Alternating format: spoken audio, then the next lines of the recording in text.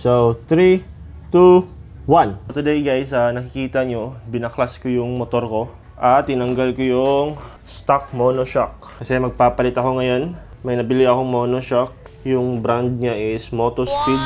Mura lang to guys. Ano lang naman eh, pan sa matagal.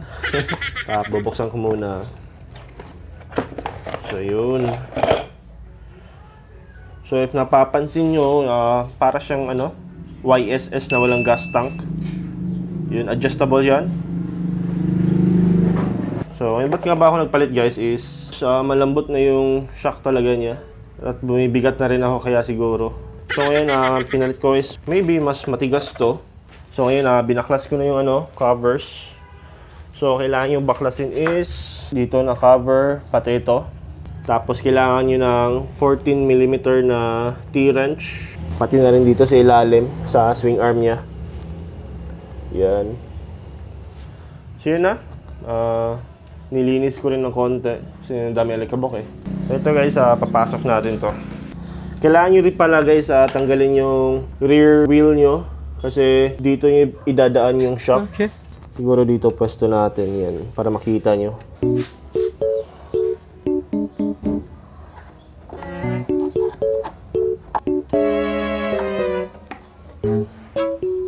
Lipat na lang natin.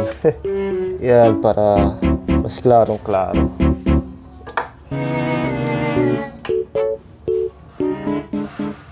Tapos itong maliit na bolt.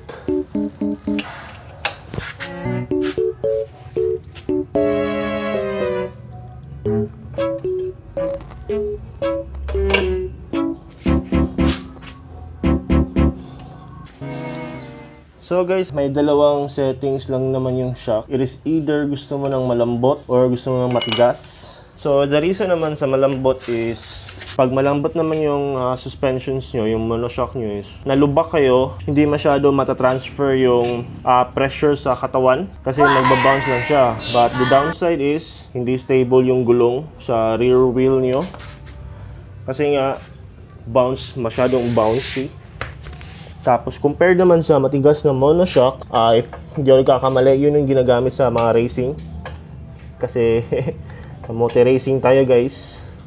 Kamote public racing. Kaya, mas maganda yung matigas.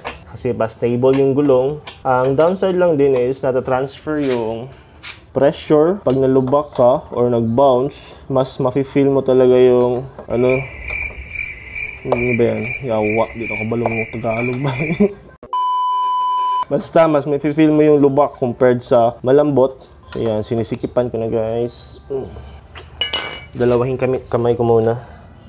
So, 14 re- wrench dito. Or, tong Y, Y yung gamit ko. Or T-wrench ba? Pwede rin. Yan siya nasa maingay. So, nabili ko nga pala to guys for just around 1,150. Ah, hindi naman talaga siya katulad ng mga YSS, RCB na masyadong mahal. So, pansa matagal lang to. Pag nakaipon ako, magpapalit ako ng iba. Yung mas maganda talaga. Ito, testing lang kasi adjustable siya eh. So, habang hinihigpitan ko to, kung bago ka pa sa akin channel guys, ah, please hit like, share, and subscribe. And don't forget to hit the bell button para updated ka sa mga videos ko, okay? Nakabit ko na, nahigpitan ko na. Tapos, pwede pa to siya adjustan. Meron siyang tools. Feel ko malambot pa guys eh. so, siguro higpitan natin. Oh, parang malambot pa. So, ayun nga, parang malambot pa. So, tatanggalin ulit natin. Dapat pala hinigpitan ko na. Ay, kapagod.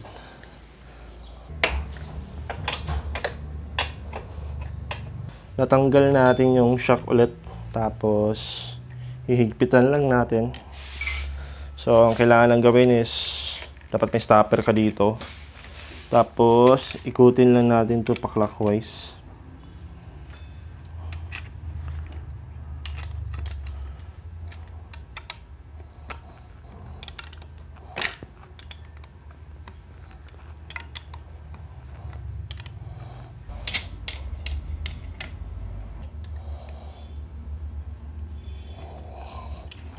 Siguro okay na to. Tapos kakabit natin ulit. Ito yung stock. Tapos ito naman yung nabili ko. Parang mas mahaba siya ng konti, di ba? Tingnan nyo. So ayun, babalik na naman. Uh, kapagod pa ngayon ah. Kakabit na natin lahat. Pati yung gulong. Tapos yung mga cover.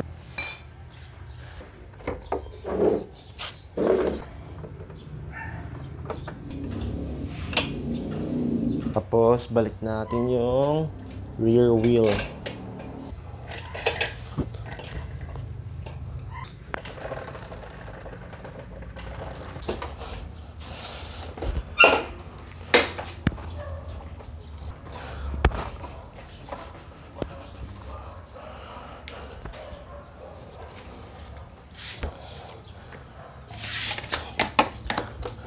Okay, so ayun guys, uh, nakikabit ko na lahat. Yung shock, yung cover, ah, yung dito na cover, mamaya na lang.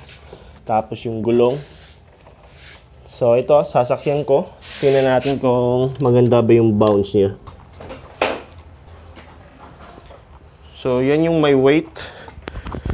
Tapos pag tumayo ako, pag umupo, yan.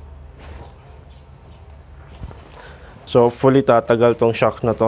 So, yun lang sa vlog ko ngayon. So, if you like my video guys, so please hit like, share, and subscribe. And don't forget to hit the bell button para updated ka sa videos ko, okay? So, yun lang guys. Bye-bye!